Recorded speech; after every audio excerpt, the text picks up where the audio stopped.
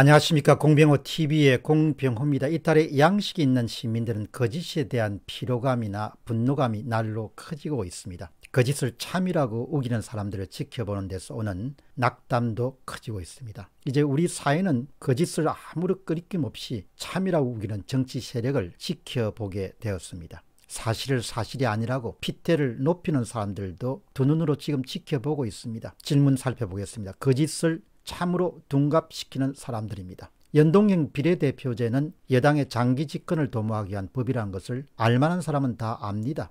여당은 장기 집권을 챙기는 대신에 이중대, 삼중대, 사중대 군소정당들은 국회의원 의석을 몇 개씩 더 챙기기 위한 개정 작업이라는 것을 사람들은 알고 그것은 그냥 사실일 뿐입니다. 연동형 비례대표제를 통과시키는 대가로 여당이 얻는 공직자 범죄 수사자 공수처는 문재인 정권 비리 보호처란 사실도 알만한 사람은 대부분 다 압니다. 그것은 그냥 사실입니다. 그래도 공수처를 힘차게 추진하는 사람들은 오늘 이 시간에도 검찰개혁, 검찰개혁을 외칩니다.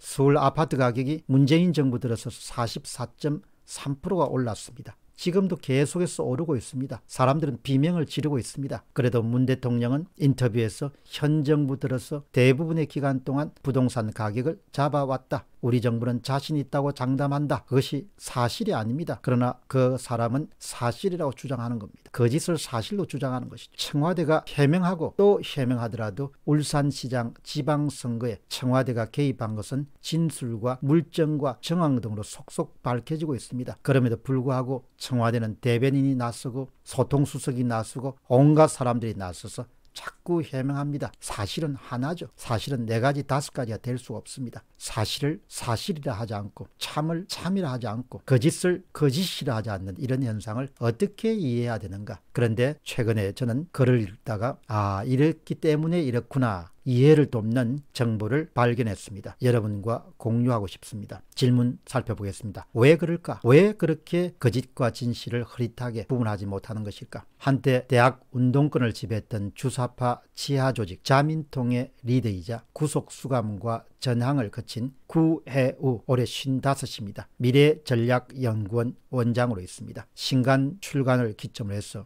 조선일보의 최보식 기자와 인터뷰에서 운동권 출신의 담백한 고백을 들을 수 있었습니다. 그들의 의식체계와 행동의 특징들을 이해하기 위해서는 그들을 잘 아는 사람들의 이 같은 솔직한 정언이 도움이 될 것입니다. 첫 번째는 그들은 출세주의자들이다. 구해후 씨는 이렇게 정언합니다. 그들의 속성은 한마디로 출세주의자다. 지하 조직의 핵심부는 어쨌든 마르크스든 주체 사상이든 공부를 많이 했지만 지금 정치권에 나와 있는 사람들처럼 얼굴 마담 운동권은 그런 내공은 없었다. 기껏해야 해방 전후사의 인식이나 전환시대의 논리, 태백산맥 같은 몇 건의 책을 본 것이 전부일 뿐이다. 물론 건모술수의 실용화할 수 있는 삼국지와 손자병법도 읽었을 것이다. 구혜우 씨는 또 이렇게 이야기합니다. 그들은 이미 이익 집단화 되었다. 이들은 김대중 노무현 정권을 거치면서 소위 먹을거리를 알게 되면서 자기들끼리 이익 집단화 됐다. 권력을 잡기 위해 물불을 안 가리니 울산시장 선거 개입도 일어난 것이다.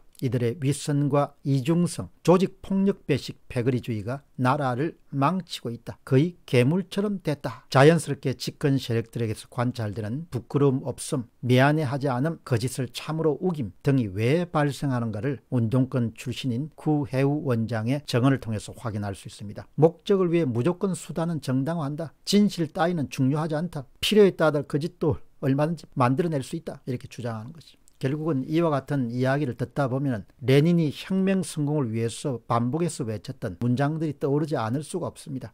레닌 왈 이렇게 이야기했습니다. 목적은 수단을 정당화한다. 혁명을 위해서는 거짓말해도 된다. 거짓말은 혁명을 위한 가장 강력한 수단이며 거짓말은 100번 하면 참말이 된다. 거짓말을 창조하지 못하는 자는 위대한 혁명가가 될 수 없다. 거의 일맥상통함을 알 수가 있습니다. 요약해서 말씀드리겠습니다. 이 땅에 양식이 있는 시민들은 우리가 부모한테서 배운 것처럼 옳은 것은 옳은 것이고 틀린 것은 틀린 것이라는 것을 목소리를 외쳐야 됩니다. 진실의 횃불을 높이 들어야 합니다. 거짓이 세상을 뒤덮어 어둠으로 가득 차 있는 것처럼 보일지라도 우리 양식 있는 시민들은 횃불을 높이 들어서 진실을 밝혀야 됩니다. 그들이 어떻게 하든지 관계없이 진실은 진실이기 때문에 우리는 진실을 외쳐야 되고 옳은 길을 향해서 전진해야 될 것입니다.